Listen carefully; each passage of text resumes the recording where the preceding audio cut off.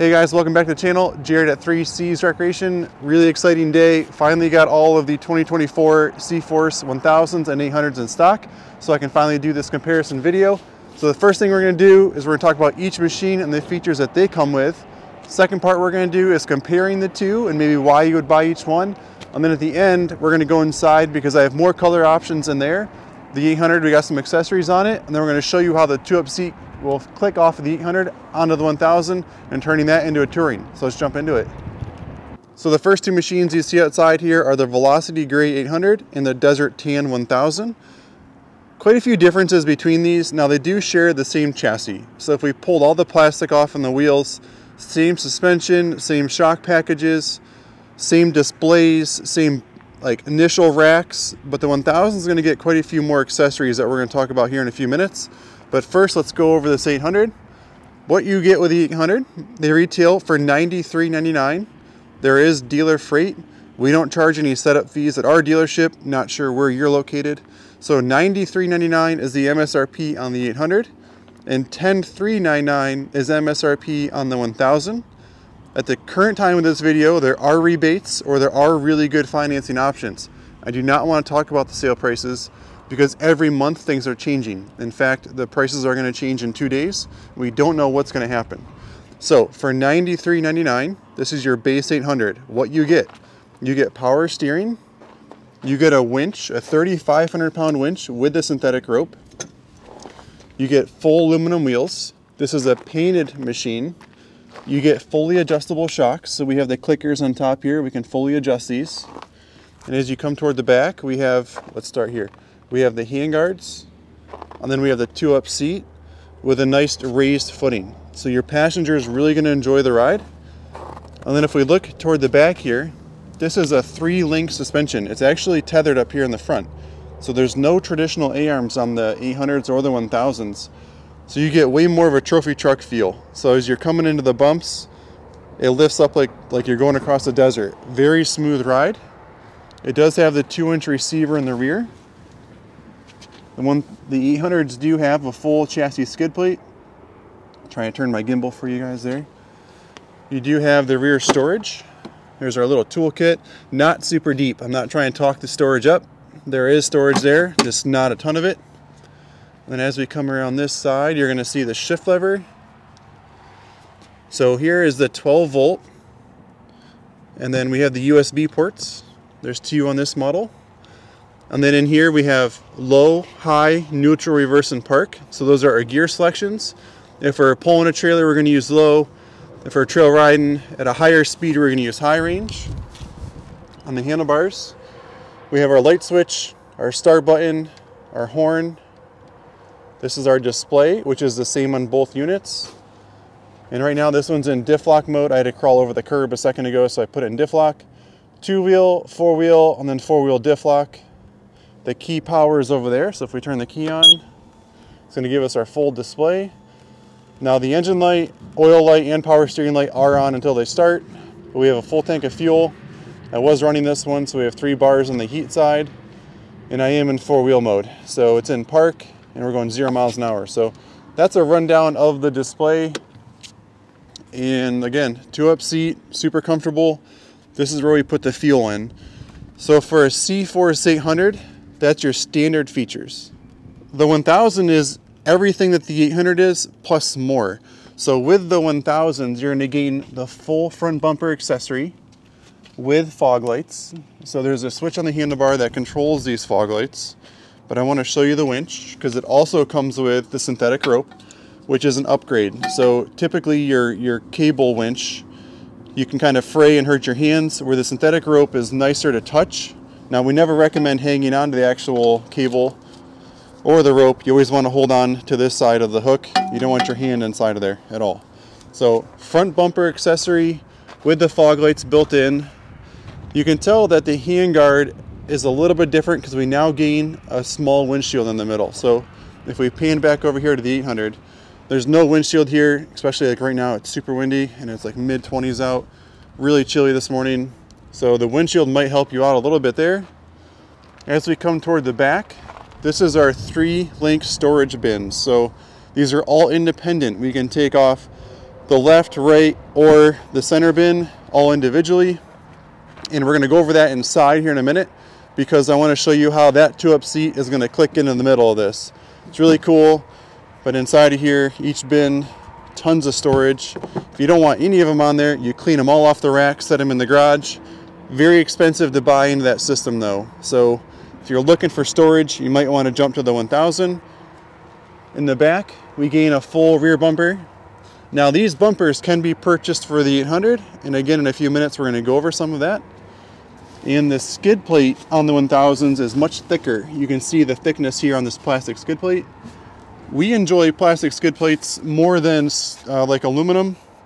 We do a ton of dirt bike racing and plastic glides 1000% better over rocks than aluminum does. All the hard enduros that we run really enjoy those.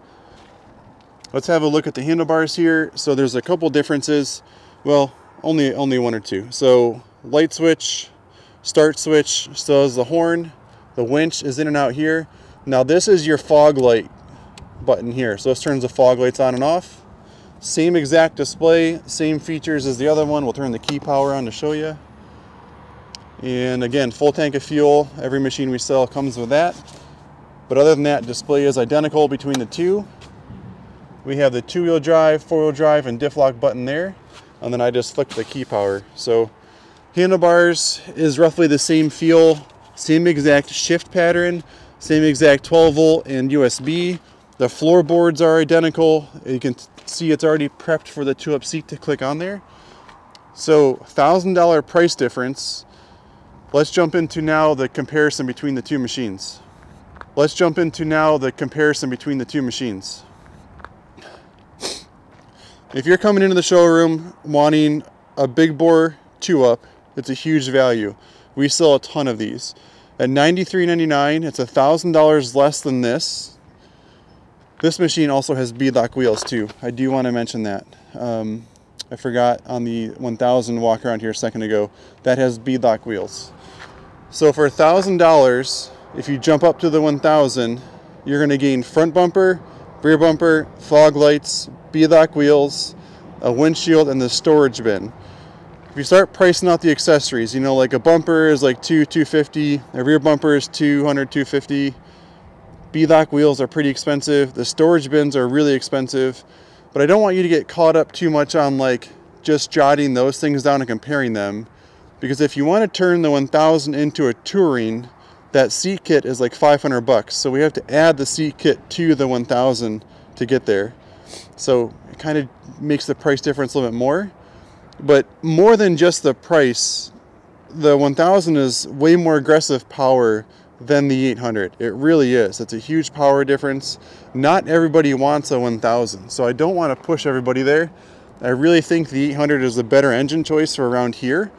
We're in the woods. Uh, you can see around here it's all woods. We're not in high elevation. The 1000s work really good high elevation because you start to lose power. This machine is 79 horse and this is 62.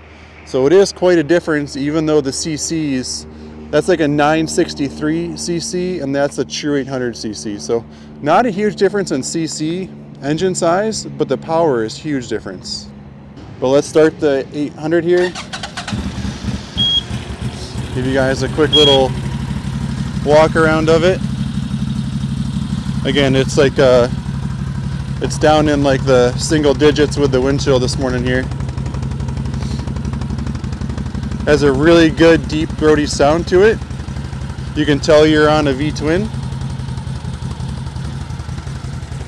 And then let's start the 1000. So we'll turn the key on. You can tell a little bit more with a thousand, a little more of a punch to it. So if you stand back, you can hear that machine over the 800. Definitely a little throatier. I'm gonna let them warm up for a minute and then we'll rev them for you guys. All right, so I ran back inside. I got warmed up and we let the machines warm up a little bit.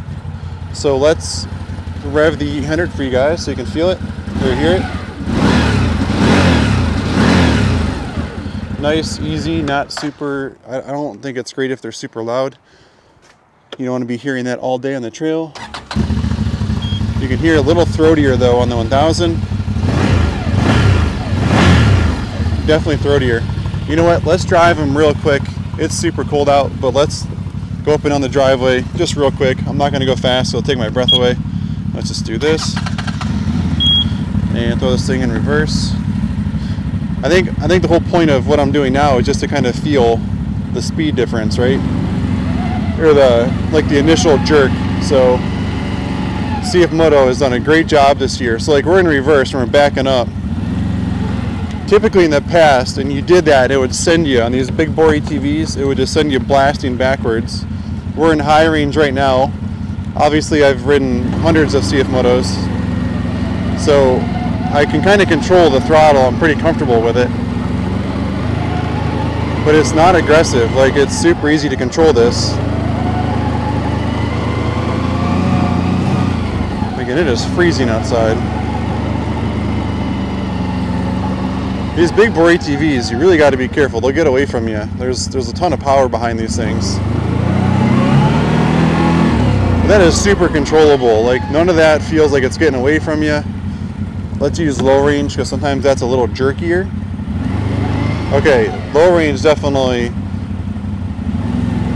takes off more. So if you're trying to load this on a trailer, I really like how the brake is on the same side as the throttle for this exact purpose. I know like in every safety video, both hands need to be on the machine. I get that. Um, but right now I've got one finger on the brake and I can have my hand on the throttle. So it's beautiful. So low range is definitely a little jerkier on the 800. Let's just back it up away from the door here. Again, hands back on the brake. And let's just drive that thing up the driveway real quick. And then we're gonna run inside. I'll show you guys the other colors and we will also go over the two up seat stuff. So let's see, we're in park, put this thing in high range. Actually, let's try reverse first. I wanna feel the reverse difference I kind of feel like the 1000 throttle is out further. And what I mean is like, I really got to stretch my hand back further to get to it. This is definitely different than that 800 a second ago. My hand is out further, it feels like. Um, so if you're riding all day long, you really have your hand way out here. It's probably going to cramp it. So I'm just making note of that for you guys. Uh, your thumb is out further. Okay, that is super easy. Whatever they did to this 1000, I'm going to do it again here. Let's go forward a little bit in high range. Okay, that engagement is easy, super controllable. Let's go in reverse again, and let's just see if I got lucky the first time. It's, it's really controllable. If you're in reverse for a 1000, there's nothing here that I'm nervous about. Again, I've, I've driven so many of these things. So let's go in high range. We'll just kind of shoot up like I just did.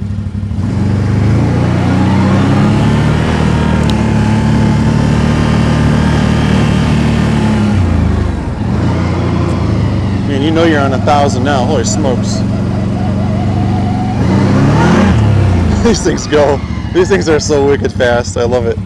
And then uh, going to low range here. Now we're in low.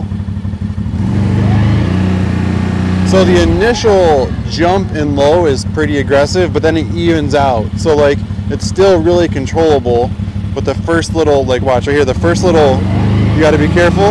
But now that I'm in low, very controllable. You just have to watch out for that first little jump. So be careful. Let's back up next to the other one. But if you're in the showroom buying a big bore ATV, hopefully you understand throttle control or what you're getting into. So let's run inside now and we'll check out some more machines. All right, so we're inside now, and this is a bone stock C-Force 1000. This is tactical green. It's kind of cool, it's a matte finish. And I should mention, so is the Desert Tan. The 1000 is a matte finish for this year, where the 800s are still a painted finish. So this is a C-Force 800. This is lava orange. And we've, we've dressed this one up in the showroom. So we added that front bumper kit. We added the front rack extender. We added their rear rack extender, their rear storage bin, and then their rear bumper. So we did some accessories to this 800. We, we sell a ton of these orange ones. It's a huge seller, really pops in the showroom and also on the trail. So the next thing and the last thing we're gonna do here is we're gonna pop the two up seat off this 800 and throw it in that 1000.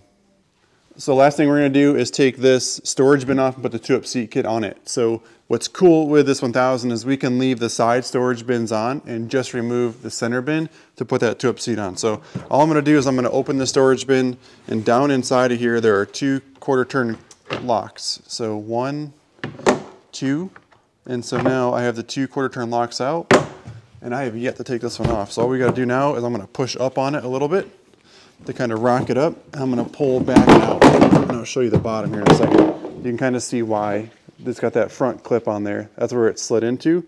You can kind of see that bracketry. Show them the brackets in there, Braxy. So it's identical to the 800. It is so cool. They also make an infill rack. So if you just want to like take the seat off and make this rack bigger, they make a cool click in right here that would that would make this full. So you don't have a seat, but you don't have a big space. So now let's come over here, Braxton. I took the rear storage bin off of this just so I could get in here easier to show you guys in the video. So on these 800s, it's very easy to take the seat off. There's a latch down here in the bottom. I just pull up on the latch and I just kind of wiggle the seat around. Now that the seat is loose, I can just grab it completely off of here. And what we're trying to do, show them the seat right here, Braxton, real quick. What we're trying to do is we're gonna line these two hooks up with the front set down here, and we're just gonna latch the back side in. So let's run over to the 1000. And I'm just gonna set this down in here. Takes a second to get it where you want it. And when they're new, sometimes that front seat is pushing up on the latch and it misses. I think it might be a little bit on top of it there. And it is. So I just gotta keep pushing it forward. So I've done a ton of these, so it's I kind of knew what to expect there. But that bottom seat was pushing up on the latch there, keeping it from going down in the peg. So now it's fully locked in. Come on in, buddy. You can show how you still have a ton of room. You know what? Why don't you hop up on there? Because you're gonna you're the size of a typical passenger. This is my 12 year old. This is Braxton. So relax your arms. You still have some arm room there. Yeah, I think people were just concerned that their elbows were going to hit. That's not the case. You got long legs, but you fit just fine on there. So that's the example of the two-up seat on the 1000. And back to this machine, if you want, you can now get that infill rack, and you can turn this rack into a huge one-piece rack. One last thing, Braxton. Let's show these folks real quick how the side bins come off. So you're like, that's cool, Jared, that you can leave the sides on, but we still want to take them off. So all we do is we have, we unlock that side, then I'm going to push down here, unlock this side. Kind of, so the tricky part is you kind of have to hold these up a little bit so that they come out. And then this comes off. You can see that the bottom of this bin has a, a latch here. It's going to catch there, and then it's got a centering pin. So I'd like to thank you guys for watching our video. This is Jared at 3 Seas Recreation. If you wouldn't mind, please consider subscribing to our channel. Give the video a like and any kind of comment will help the algorithm take this video and, and make it higher in the listing. So thank you guys for watching our video. Jared at 3 Seas. Enjoy the ride and we'll see you on the trail.